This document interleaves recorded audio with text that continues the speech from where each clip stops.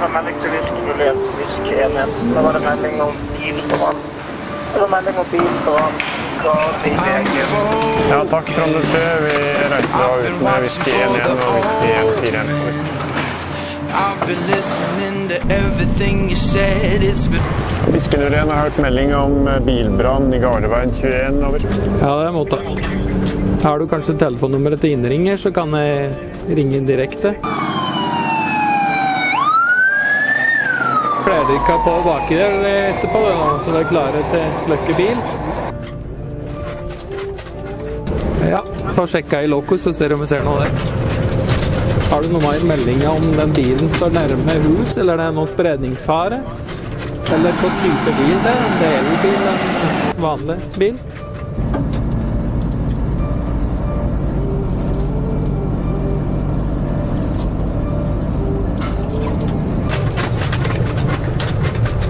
Ja, det er måtte Da begynner vi å nærme oss, så røykdykkerne er klare til å gå ut. Da bruker vi vanlig vann i dag på hurtigslange.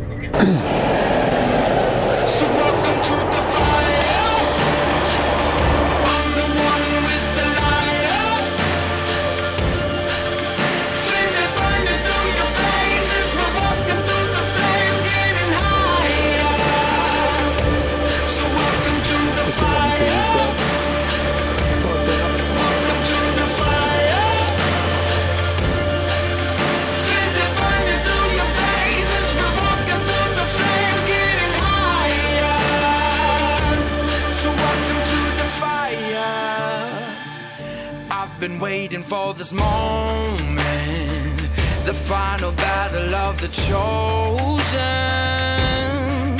See, I'm never gonna quit. Got my legacy set in motion.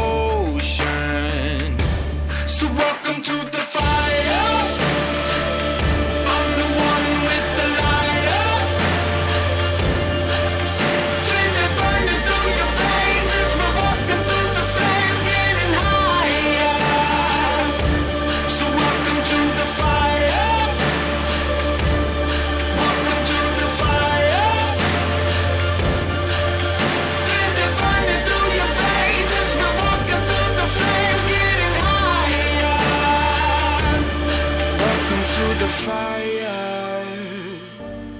Welcome to the fire. Cause the bigger they are, the harder they fall. You build your fortress and I'll climb your walls. You got your armor, harder they fall.